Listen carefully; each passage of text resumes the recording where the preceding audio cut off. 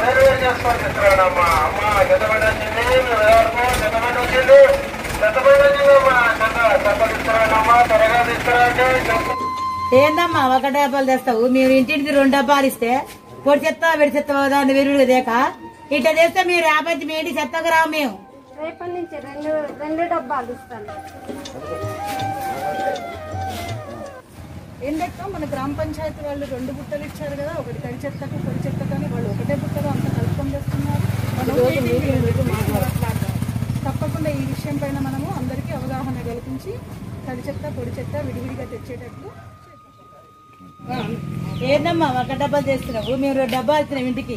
పొడి చెత్తకు తడి చెత్తకు. ఒక డబ్బా చేస్తే రేపటి మీ ఇంటి చెత్త కూడా రాము మేము. ఒక డబ్బా చేస్తున్నాం ఏంది?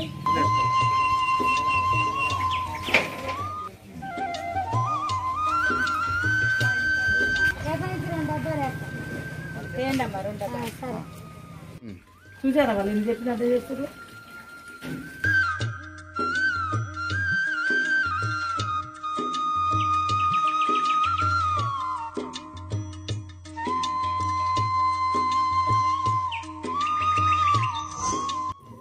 అందరం ఈరోజు మనము వివో మీటింగ్కి వచ్చినందుకు మీ అందరికీ ధన్యవాదాలు. మనము మనకు గ్రామ పంచాయతీ నుంచి రెండు చెత్త బుట్టలు ఇచ్చిర్రు. కానీ మేము నిన్న ఈ నిన్న మొన్న మూడు రోజుల నుంచి మేము గ్రామ పంచాయతీ చెత్త ట్రాక్టర్ ఇమ్మటి తిరిగి చూస్తున్నాము పరిశీలిస్తున్నాము ఎవరు ఏ విధంగా చెత్త ఇస్తున్నారని మేము ముగ్గురం కలిసి దాన్ని పరిశీలిస్తున్నాము.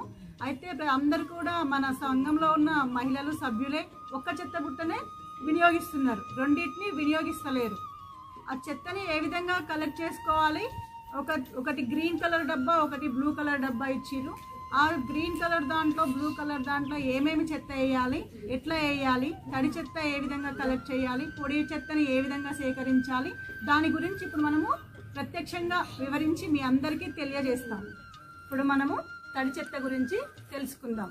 ఇవన్నీ నాకు వంటింట్లో వచ్చినటువంటి వ్యర్థాలు. రోజు ప్రతిరోజు నేను కోసినటువంటి కూరగాయల పొట్టు సొరకాయ బీరకాయ దోసకాయ ఇట్లా ఖరాబ్ అయినటువంటి కూరగాయలు ఏవైనా సరే అది తడి చెత్త. దీన్ని మనము గ్రీన్ కలర్ డబ్బాలో వేసుకోవాలి. తర్వాత పొడి చెత్త. పొడి చెత్త అంటే ఏం లేదండి పిల్లలు తాగిన థమ్స్అప్ బాటిల్స్ పిల్లల సిబ్బందికి ఇస్తే వాళ్ళు వాళ్ళంతా ఒక దగ్గర వేసేస్తారు. పాడైపోయిన బట్టలు అన్నీ. మనం కూడా మనం మంచిగా మనం గ్రామ పంచాయతీకి సహకరించి మన గ్రామాన్ని కూడా చెత్తరహిత గ్రామంగా తీర్చిదిద్దుకుందాం.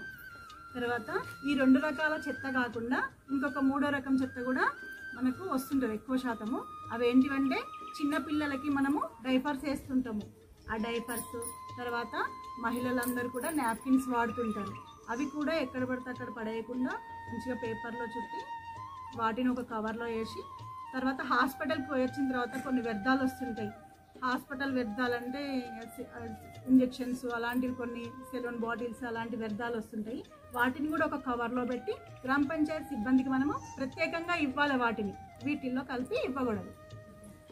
చిన్నపిల్లల డైపర్స్ నాప్కిన్స్ తర్వాత హాస్పిటల్ నుంచి వచ్చినటువంటి వ్యర్థాలు ఇవన్నీ మనము గ్రామ పంచాయతీ ట్రాక్టర్కి సైడ్లో ఒక బస్తా కట్టు ఉంటుంది ఇవన్నీ మనం కవర్లో కట్టి బస్తాలో వేస్తే అవి సపరేట్గా వెళ్ళిపోతుంది చెత్త. ఇంకా మనము చెత్తని కలెక్ట్ చేసుకొని గ్రామ పంచాయతీ సిబ్బందికి అప్పచెప్పితే మన ఇల్లు బాగుంటుంది మన పరిసరాలు బాగుంటాయి. ఇప్పుడు మనము చూస్తున్నాం ఎక్కడ చెత్త ఎక్కడ పడితే అక్కడ చెత్త ఉంటుంది కాబట్టి మనందరం మహిళలం కాబట్టి మనందరం ఐక్యతగా ఉండి మన ఇల్లు తర్వాత మన ఊరు మన గ్రామము ఆరో ఆరోగ్యంగా ఉంటుంది ఈ విధంగా చేస్తే. తర్వాత దీనివల్ల మనకు చాలా లాభాలు ఉంటాయి. ఇంట్లోకి దోమలు రావు. మనం హాస్పిటల్స్కి వెళ్ళేటువంటి అవసరం కూడా ఉండదు. మన ఆరోగ్యాల్ని మనమే బాగు చేసుకోవచ్చు. కనుక దీన్ని మనందరము దీనిని సక్రమంగా పాటించి అందరము ఆరోగ్యంగా ఉండాలి.